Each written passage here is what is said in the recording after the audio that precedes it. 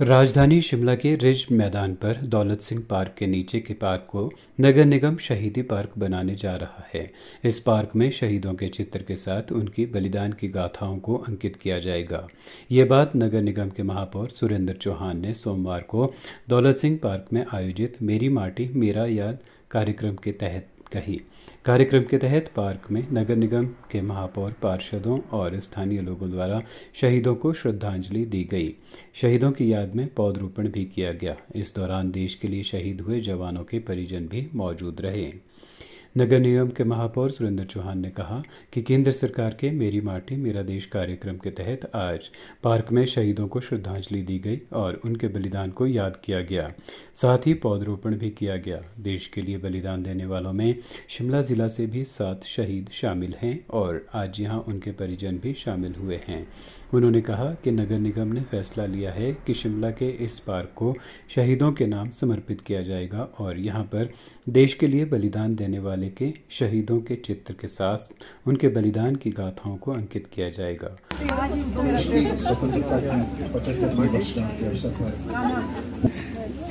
इसी कार्यक्रम के अंतर्गत आज शिमला के दौलत सिंह पार्क में हम सभी, मेरी माट मेरा देश इस आयोजन में भाग ठीक है।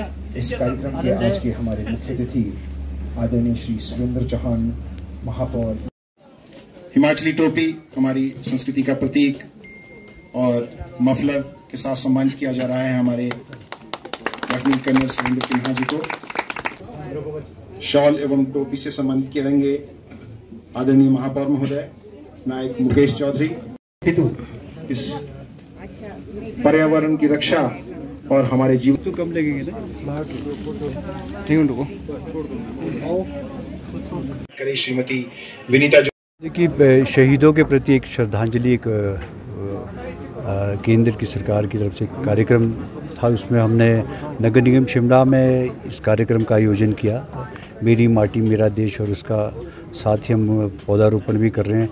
इसमें जो हमारे, इसमें आपने देखा होगा कि शिमला से संबंध रखने वाले सात वीरों का भी इसमें नाम लिखा गया और उनके साथ उनके परिवार के एक सदस्य हमारे साथ आए हैं। उनके, उनको भी उन्होंने शामिल किया है।